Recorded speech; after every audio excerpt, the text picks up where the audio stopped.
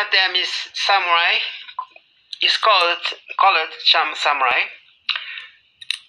It's Japanese from 1900. Have some samurai motif, like you can see it, right? Roman numbers, and the case of iron, flower flower motif, of course. My other one is Egyptian one, like you can see the Egyptian things, right?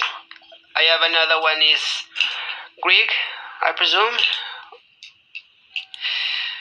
Of of Athena here, so Roman numbers too. Others have normal numbers. Now, the other watch I have is Belle Epoque.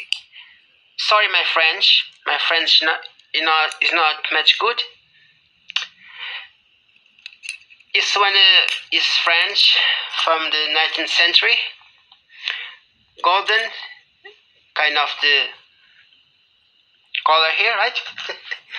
like you can see it, right? The other one I have is Napoleon, 1890. It's also Roman numbers and